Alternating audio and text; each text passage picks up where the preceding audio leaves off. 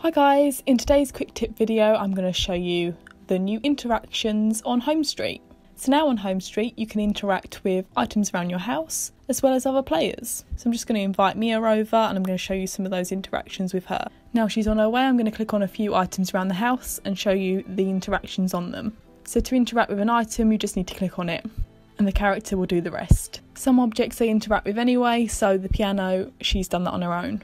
So now Mia's here, I'm going to show you some interactions with her. All you need to do to get these is click on the other player's character, and then you'll get a list of options, so make funny face, entertain, tell boring story, ask about day, etc. I like these though because they do actually interact with your character. So instead of just standing there, Mia is actually interacting when you do something. A lot of games like this, if you interact with another player, then they just stand there and don't do anything. So I really like that they actually reply on Home Street.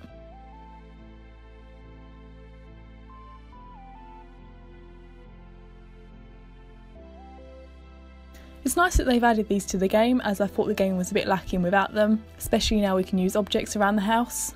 It does make it slightly more realistic.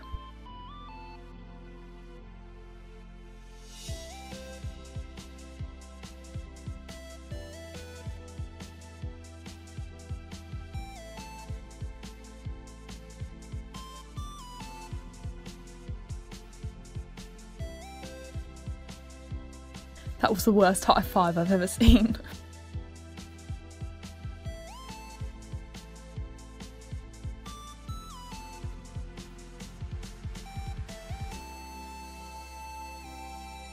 Oh, both her and her cat are sleeping at the same time.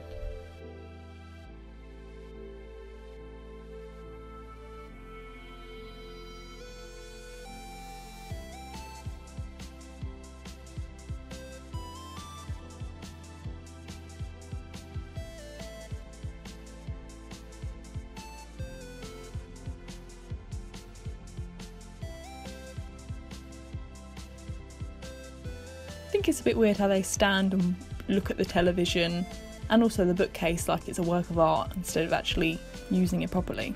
Like if you're watching the TV, surely you'd sit in front of it, and if you're using the bookcase, you would grab a book. I love that swing seat.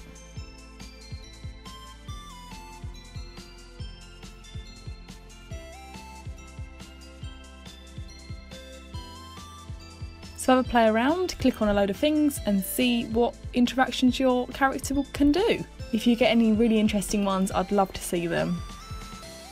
Thanks for watching. Bye.